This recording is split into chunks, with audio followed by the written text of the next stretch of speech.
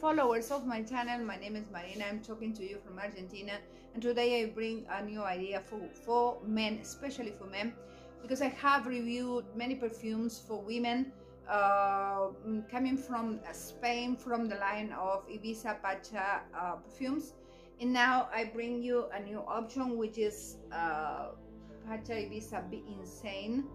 Uh, here it says I am the night, and it has the two cherries. Uh, in, in, this case, uh, very special two cherries, as you can see.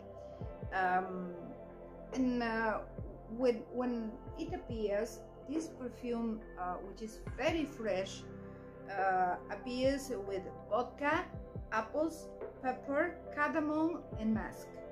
In its heart, it, ha it has lavender and uh, geraniums. In its base, it has very vetiver, benjuin, and uh, myrrh, and some species.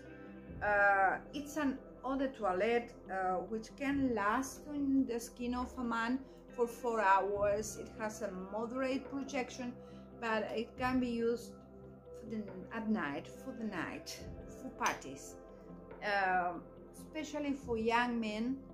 Uh, be insane is a good option, and I hope uh, you, you can you can try it in Argentina, especially for my young followers. It's this is a good recommendation.